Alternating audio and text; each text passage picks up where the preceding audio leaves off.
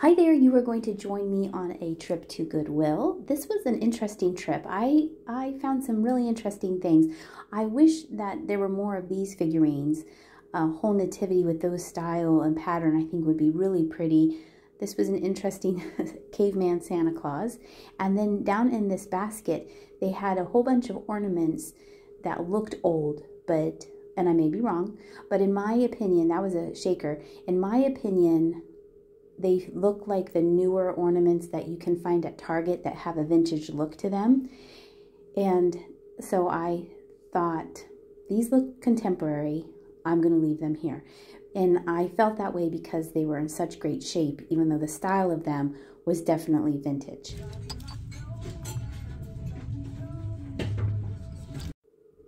Unfortunately, there was only one of these, and there was a little nick on the rim of the can. I think this is a candle holder.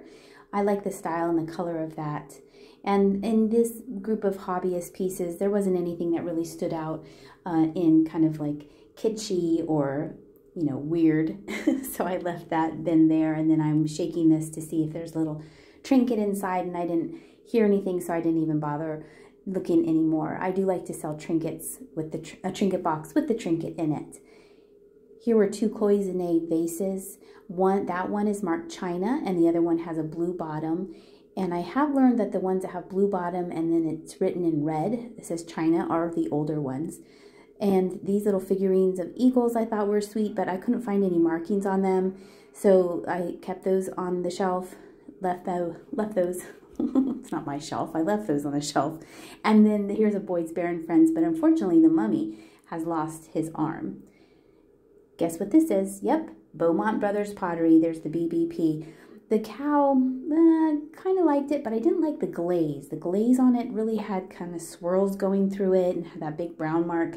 So I did leave that there. I wanted to know who was the maker of Jesus and this child figurine, but it was just a made in China one. So that stayed there.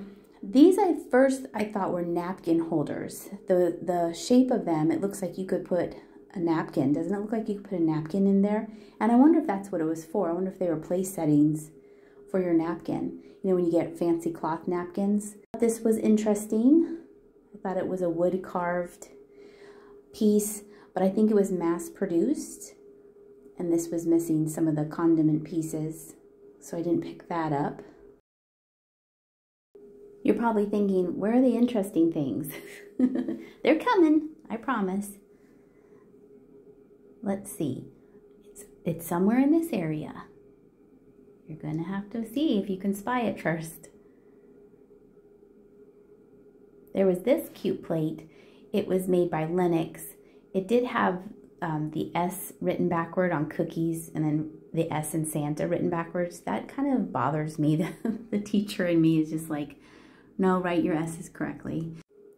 I did take the time to look up sold comps, but I didn't really want to deal with a big box and a big plate. And then this bag of ornaments, there were some Princess House crystal ornaments. So I did take the time to look up sold comps for those to see if there was anything that was you know, outstanding and sought after.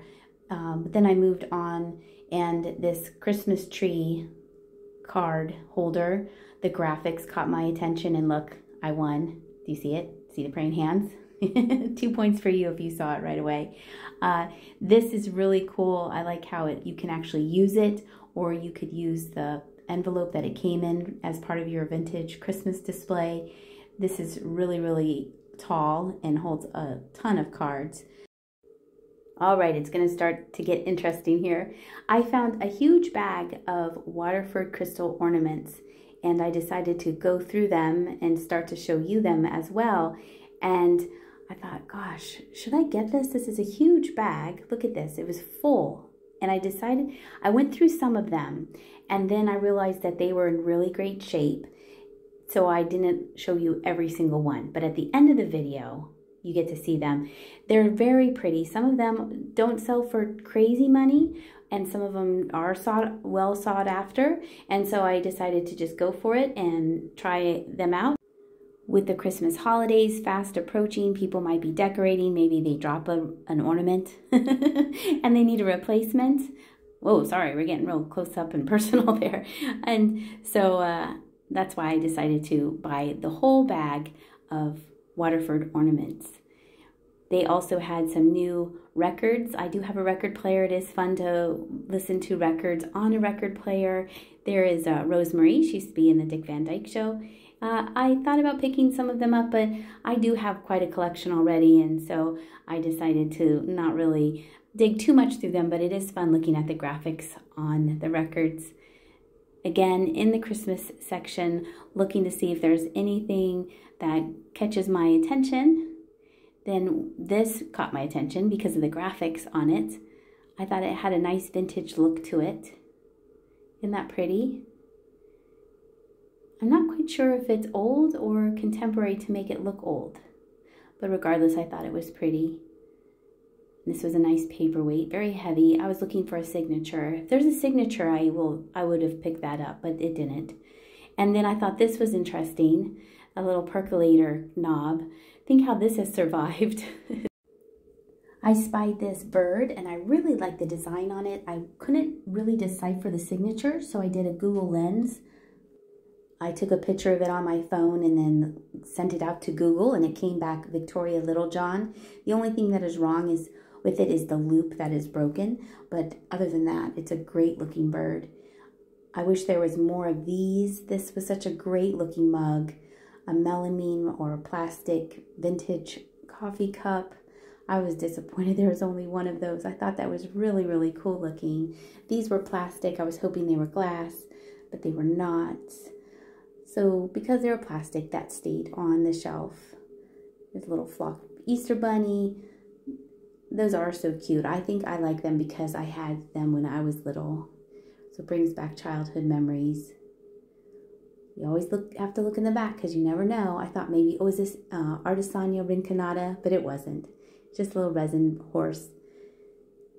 And then they had these two plates, and I thought, this looks like Pennsbury pottery.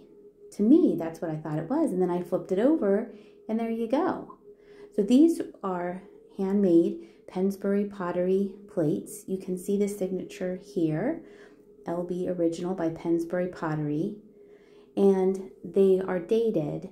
And I didn't look them up to see if they were worth anything because as a rule, I tend to not pick up collector's plates like this.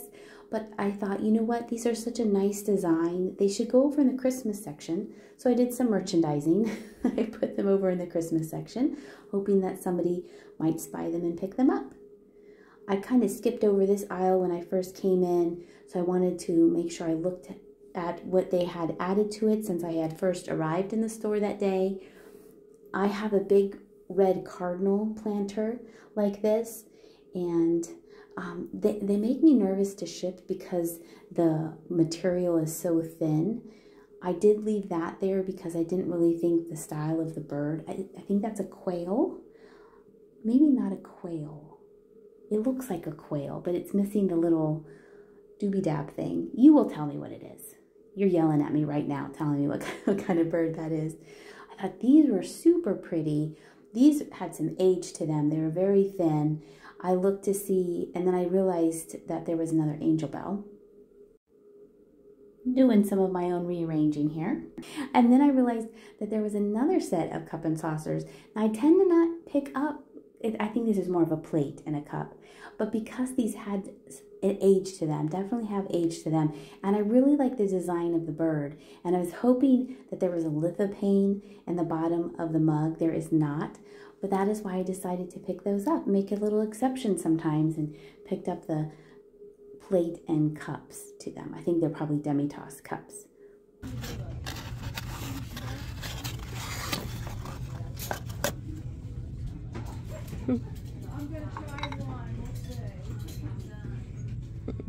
It's cute. I thought this little jar was adorable. When I did get it in the light box of truth, unfortunately, I did find two very tiny hairline cracks in the lid, but I would definitely use it and feel safe using it. So I'm going to, of course, show that in the description, but it does have flaws to the lid. These, I believe, are Anchor Hocking. There's two of them, and I thought those were pretty fabulous looking. There was this milk glass bottle. I did look up the name of it. I know Andrew knows so much about glass bottles. I know nothing. so I put it back on the shelf. I wasn't quite sure if this was a vase or a cup. I don't think it was an egg cup. Maybe it was a decorative vase, but it was half of a fish. So I thought that was pretty interesting. And then here's another piece that some people are probably going to be yelling at me. You should have gotten it. I thought this was fabulous. This is a Vera Bradley briefcase. It still had the strap inside that hadn't been used. It was $25. I do not need this for myself. If it was less, maybe I would have bought it and thought, well, I could put my camera in it. but uh, I looked it up to see if it was worth buying for $25 to flip, and I didn't think it was. And the next day, I happened to be at this Goodwill, and it was gone, of course. But I didn't know that they made briefcases. I thought I kind of knew Vera Bradley, and I, I don't. I, there's always something new that comes up. And then there were this uh, whole bin of baby doll shoes, or not baby doll shoes, these are uh, dolly shoes. And it looked like someone had donated their supply from a doll store. And so I thought those were pretty interesting. I was looking through them, see if there was anything interesting. They were they were they're priced pretty high, but not you know for me. But uh, I'm you know not complaining. They for someone to come in and buy a pair of doll shoes, those were a good price. I thought this is a great book. I remember reading this book when I was little. And now we're giving it another once over, seeing if there's anything else on the shelves. I'm going to stand back and let you do some shopping here. What do you think? See anything? I found these. These were ceramic pieces, obviously. They were made to look like wood. They were both marked $6.99 they did not have a maker signature to them. So I kind of think that these were hobbyist pieces. I don't think these are American, you know, California pottery or anybody like that. I could be completely wrong. They have that uh, treasure craft look to them. Really, really great style of, you know, mid-century modern. But I left those. Of course, the little kitty cat figurines, that one was kind of stuck to the shelf there. Uh, but there's nothing really there that kind of it's like, oh, take me home. But they were awfully cute little kitty cats. And then here's another look at the shelves for you. This was nice. I was seeing what they had for the price on it. I don't, oh, there it is. $3.99. I bet the glasses with that would look really, really pretty. Nice and bright and happy. They had this out and it was marked $24.99 and I think this is a lamp. Is this a lamp? It looks like a lamp. Maybe a ceiling lamp. Maybe someone bought it and then changed their mind or got new ones or something. There's bins. I always look for the bins because I love bins. you can do so much with a bin. I usually try to find them at auctions because they usually are cheap and usually the auctioneer's like, the bin itself is worth $5 to get people bidding on stuff. We're going to wrap up this trip to Goodwill by looking in the restocking bin to see if there was any hidden treasures in the bottom of it. Coming up next is everything that I picked up on this trip to Goodwill. Thank you so much for your support of my channel. I hope you are leaving a comment of something that I that I picked up that you liked or something that I missed on the shelves. When I picked up that ginger jar a couple weeks ago, and so many of you spotted the little bowl that went with the ginger jar. You guys have such great eyes. Oh, I wish you were with me sometimes you could be like, Dagny, there's the bowl that you need for your ginger jar. Thank you so much for watching this video. I hope you're having a great day, and I'll see ya.